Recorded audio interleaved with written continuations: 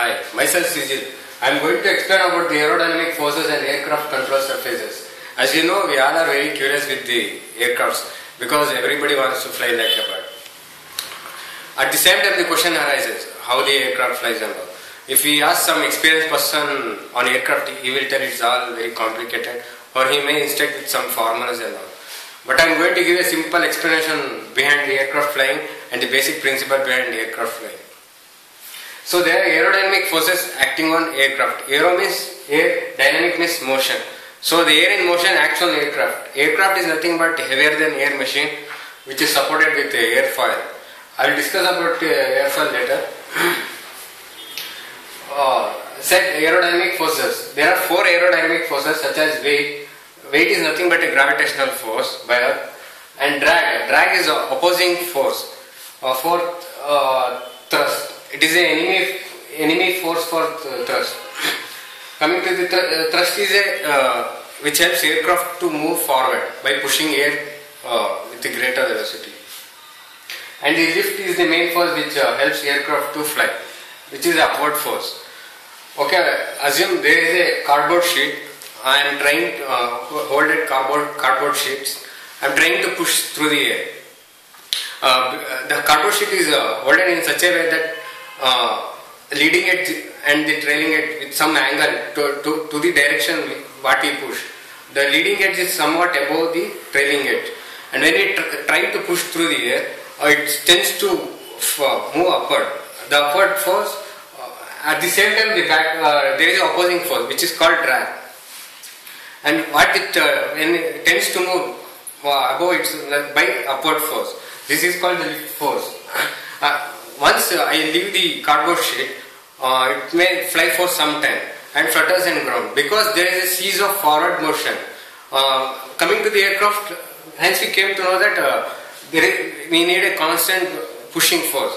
So coming to the aircraft, there is an engine provided uh, which pro- produces thrust, so it moves, uh, it helps aircraft to move.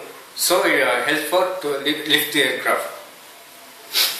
Here the cardboard uh, sheet plays this similar role to the airfoil of uh, aircraft. But our air, aircraft airfoil is not designed as a cardboard sheet, it is having a cambered surface. As I said, there is a cambered surface. It is cambered in such a way that the topper is, topper surface of airfoil is bit cambered than the lower lower one. It is a streamline one. Let us discuss. The streamline is nothing but uh, which uh, is, which produces no resistance for the airflow. There is a free airflow for, for on the air, air, airfoil. For, I can give you example for airfoil uh, means a streamlined body. If I am having a disc uh, which is not streamlined body and the air is flowing over the disc, but and trying to push that disc, I need much force to push that uh, pull that uh, disc. At the same time, when we streamline that body, the airflow without resistance, without a uh, resistance.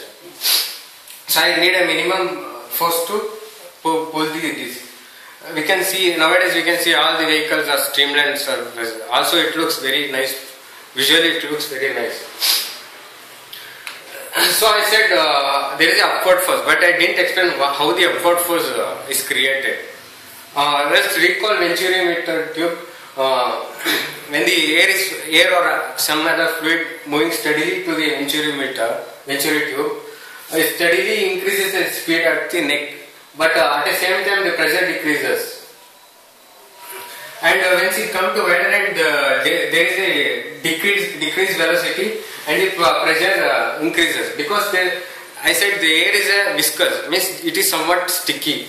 When it comes to the wider end, it sticks to the uh, surface. There is a pressure difference between the neck and the wider end. So s- similarly, assume that the air, uh, air is flowing over the airfoil. I said the airfoil is designed in such a way that upper one is uh, somewhat more cambered than the lower one. So air upper high upper airstream need to flow longer distance than the lower uh, airstream. So when the air is uh, moving up on the upper stream, it moves in a higher speed. Then the lower one is very slow. There is a sticky, I said. Uh, so there is a pressure difference pressure difference is created.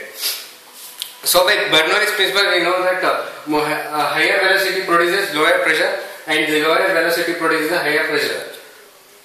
When the pressure difference is created, this a lift uh, force produced. I can give a simple example.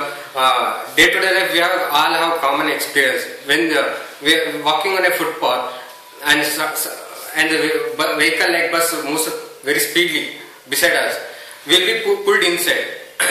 uh, the, that pulling, I can say in another way, like uh, when the bus uh, moves speedily, there is a vacuum created, and uh, the air tends to fill that gap.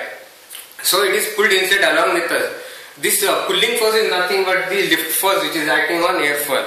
This is how the lift uh, force and air uh, flight is lifted. Um, the lift also depends on the pressure and wing area. The wing area is larger wing area produces much lift and pressure depends on airfoil shape. It depends on the airfoil shape I said earlier. And an- angle of attack, I will explain it later. And it is depends upon the air density also. More air density, more lift we can produce. And at the same time, the thrust should be there. Once the vehicle uh, aircraft is moving in speed, uh, we can pro- uh, we can have lift. Otherwise, we when they at rest we can't produce the lift force. So no thrust, there is no lift. We can say. At the same time, the uh, more air is uh, downwash. More downwash means that more air uh, down the airfoil, more lift we can it is produced. It is a simple example for Newton's third law. You can say. okay.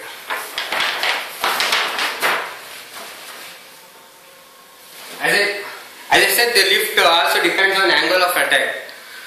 Let's discuss about angle of attack. Uh, angle of attack, I said, uh, I will give a simple example you can understand easily. Assume that I am sitting on a bike behind my friend, uh, spreading my hand, and I am uh, tilting my hand, as I said earlier in cardboard example, and tilting my hand through through direction what we move. Let the bike be above the speed of around 70 or 80 km speed. I am uh, uh, tilting my hand. Uh, so there is a somewhat lift is produced and I can- the- I can feel the aerodynamic effect. At some some time after some angle, uh, my hand will be dragged. Means there is a stall. Means there is a separation of air uh, between leading edge and trailing edge. This uh, the for, once the separation is there, the aircraft uh, falls. This is called stalling. This phenomenon is called stalling.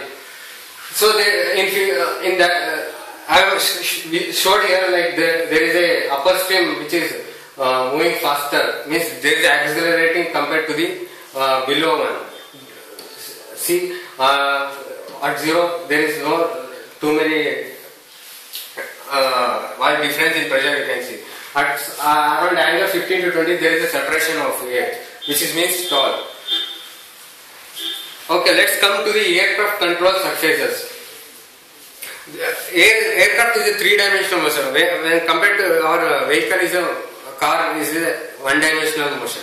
So we need a lot, lot of control surfaces to control the aircraft motion.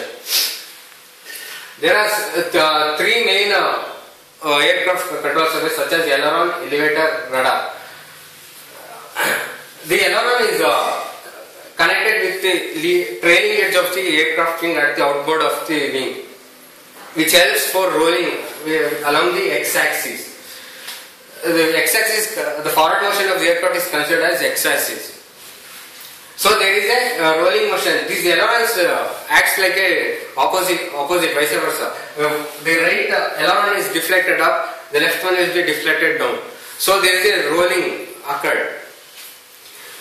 Coming to the rudder, rudder which helps for yawing motion, left to take left and right motion uh, for aircraft along the z-axis, which is uh, uh, helped by rudder, which is uh, which is in the vertical stabilizer of empennage. Empennage is nothing but the combined of horizontal and vertical stabilizer in tail end.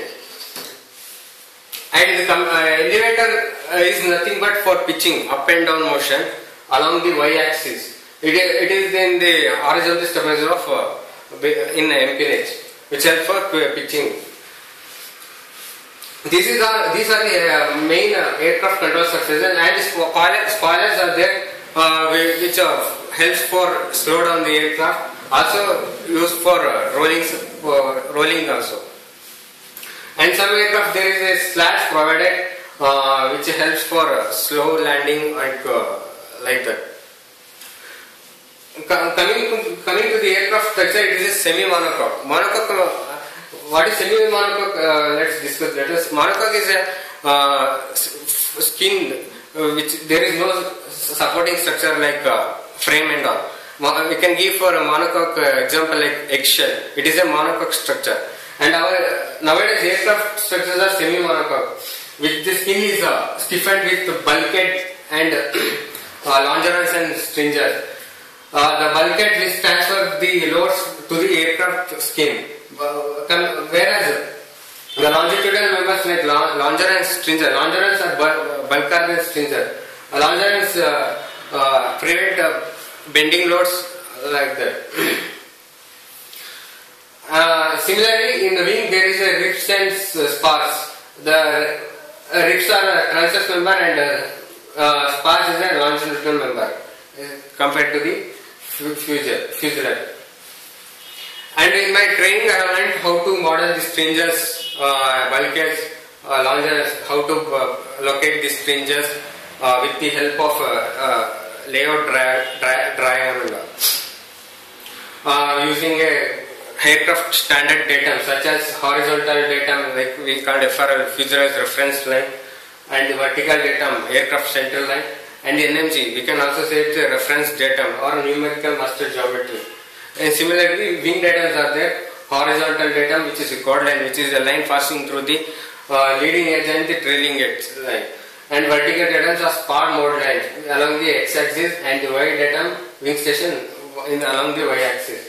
So I, I, here I am looking for a platform to de- in aircraft and the automobile sector too. I, I am capable of modeling stringers and all.